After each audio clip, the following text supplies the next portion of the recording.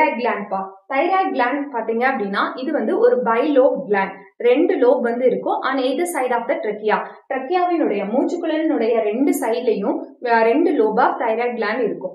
ரெண்டு thyroid gland பாத்தீங்கன்னா which is connected by the ஒரு தின் பிளாப் கனெக்டிவ் டிஷ்யூல கனெக்ட் ஆயிருக்கும். அதுக்கு பேரு இஸ்துமஸ் அப்படின்னு சொல்றாங்க. ஒவ்வொரு தைராய்ட் கிளாண்ட்ல பாத்தீங்கன்னா பாலிகிள்ஸ் பாலிகிள்ஸும் ஸ்ட்ரோமல் டிஷ்யூஸும் இருக்கும்பா. பாலிகிள்ஸ்ல பாத்தீங்கன்னா பாலிகுலார் செல்ஸ் இருக்கும். இந்த ஃபாலிகுலார் செல்ஸ் தான் நமக்கு டி த்ரீ டி ஃபோர் அப்படிங்கிற தைராய்டு ஹார்மோனை ரிலீஸ் பண்ணுது.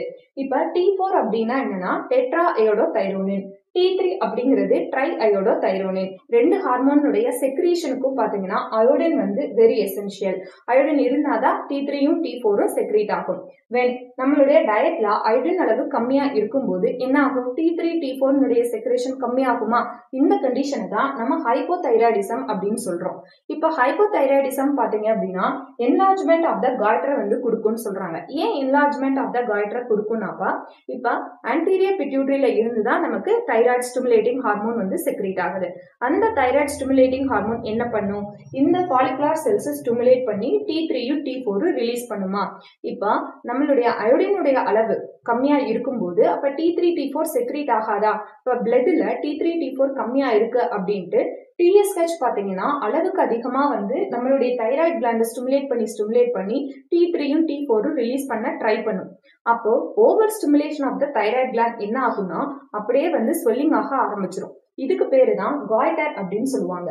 ஓகே இதே ஹைப்போதைராய்டிசம் ஒரு பிரெக்னென்ட் லேடிக்கு இருந்தது அப்படின்னா அவங்க வயிற்றுல இருக்கக்கூடிய குழந்தையினுடைய குரோத் அண்ட் மெட்டபாலிசம் வந்து அஃபெக்ட் ஆகும்னு சொல்றாங்க.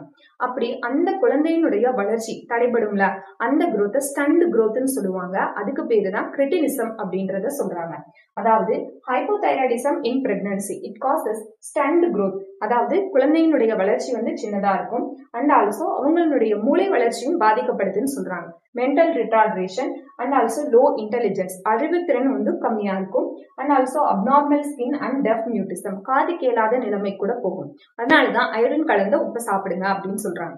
ஓகே இதே அடல்ட் உமன் அடல்ட் உமனுக்கு பாத்தீங்கன்னா ஹைப்போதைராய்டிசம் இருந்ததுன்னா இரகுலர் மென்ஸ்ட்ரல் சைக்கிள் வந்து வரும்பா ஓகே நெக்ஸ்ட் எப்போ வந்து நம்ம தைராய்டு ஹார்மோன் வந்து அளவுக்கு அதிகமா செக்ரேட் ஆகும் பாத்தீங்கன்னா கேன்சர் இந்த தைராய்டு கிளாண்ட் அதாவது இயல்பா ஃபாலிகுலார் செல்ஸ் இவ்வளவு இருக்கிறதுக்கும் கேன்சர் இருக்கும்போது பாத்தீங்கன்னா நிறைய ஃபாலிகுலார் செல்ஸ் இருக்கும்ல. அப்ப நிறைய வந்து எது செக்ரேட் ஆகும்? தைராய்டு ஹார்மோன் செக்ரேட் ஆகும். அதுதான் என்னன்னு சொல்றாங்கன்னா ஹைப்பர் தைராய்டிசம் அதாவது hyper secretion of thyroid hormone தான் ஹைப்பர் தைராய்டிசம் அப்படின்னு சொல்றாங்க.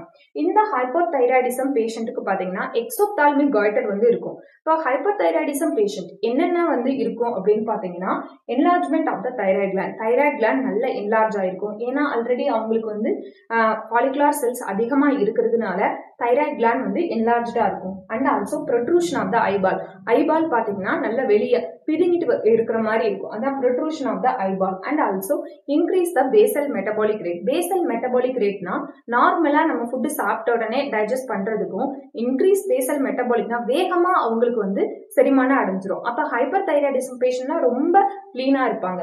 So increase the basal metabolic rate and also weight loss weight loss வந்து அதிகமா இருக்கும். ஏன்னா ஓவரா வந்து மெட்டபாலிசம் நடந்துகிட்டே இருக்கும்போது அவங்க பாடியில ஸ்டோர் ஆயிருக்கக்கூடிய எக்ஸஸ் ஃபேட்டோ எக்ஸஸ் கிளைக்கோஜனும் நம்மளுக்கு பிரேக் டவுன் ஆயிட்டே இருக்கும். அதனால அவங்க வந்து வெயிட் லாஸ் இருப்பாங்க.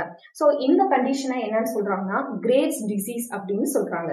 ஓகே இப்போ நார்மலா ஒரு தைராய்டு ஹார்மோனுடைய ஃபங்க்ஷன் என்ன அப்படின்னு பாத்தீங்கன்னா it maintains the basal metabolic rate basal metabolic ரேட்னா என்ன?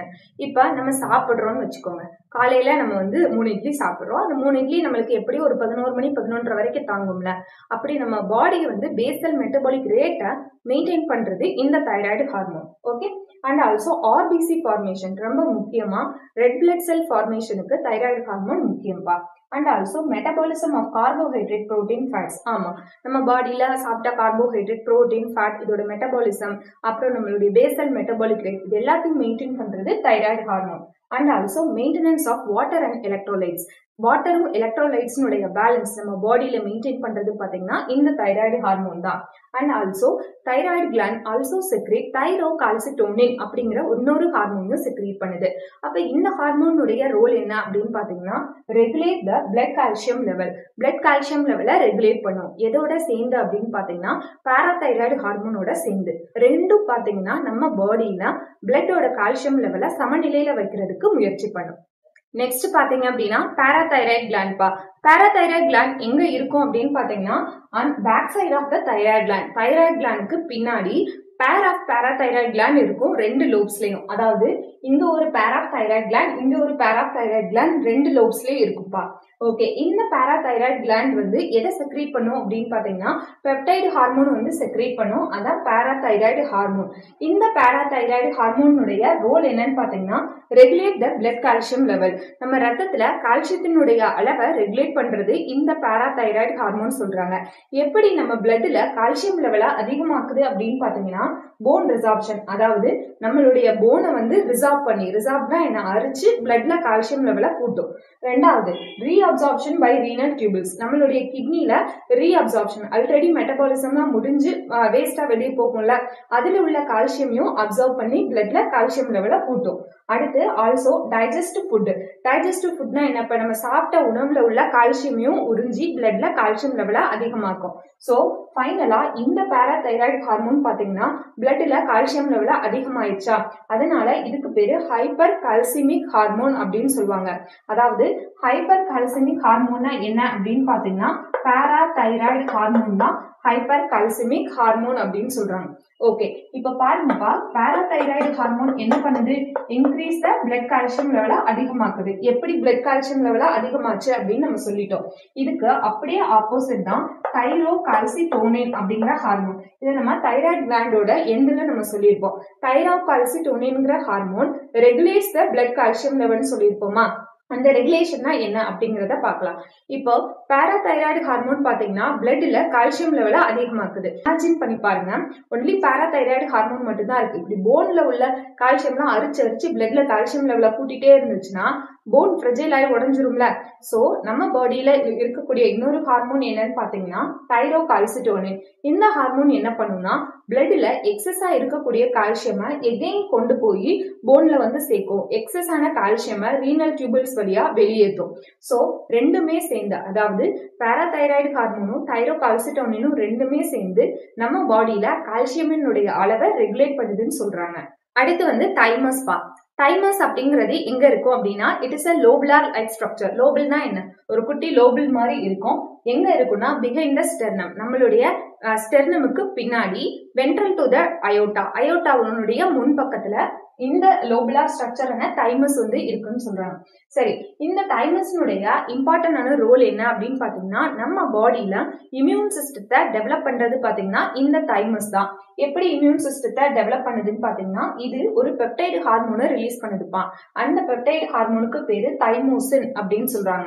இந்த தைமோசினுடைய இம்பார்ட்டன்டான ரோல் என்னன்னு பாத்தீங்கன்னா டி லிம்போசைட் அதாவது டி லிம்போசைட் பாத்தீங்கன்னா போன் மேரோல வந்து சிந்தசிஸ் ஆகும். அது எங்க போய் மெச்சூர் ஆகும் பாத்தீங்கன்னா தைமஸ்ல அப்ப differentiation of the T lymphocytes வந்து எந்த இடத்துல நடக்குது அப்படின்னு பாத்தீங்கன்னா இந்த தைமஸ்ல அண்ட் ஆல்சோ இந்த டி லிம்போசைட்ஸ் தான் நம்ம பாடியில செல் மீடியேட்டட் இம்யூன் ரெஸ்பான்ஸ் வந்து கொடுக்குதுன்னு சொல்றாங்க.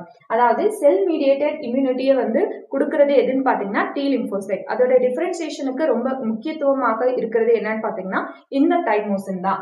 ஓகே இந்த தைமோசின் ஆல்சோ அது மட்டும் இல்லாம it's produce some amount of antibodies ஆன்டிபாடிஸும் produce பண்ணி ஹியூமரல் இம்யூனிட்டியாவும் செயல்படுதுன்னு சொல்றாங்க. அப்ப இது மூலமா நம்மளுடைய இம்யூன் சிஸ்டத்தை டெவலப் பண்றது இந்த தைமோசின் அப்படின்னு சொல்றாங்க.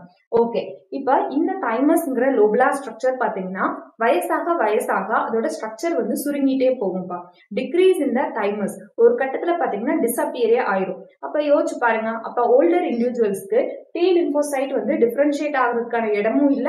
ஆன்டிபாடி ப்ரொடியூஸ் பண்ணதுக்கான இடமும் இல்ல. ஸோ தட் ஓல்டர் இண்டிவிஜுவல்ஸ் பாத்தீங்கன்னா நிறைய வந்து ஃப்ரீக்வெண்ட் இன்ஃபெக்ஷன்ஸ்க்கு அவங்க ஆளாகிறாங்க. Because decrease in the size of the thymus அதனால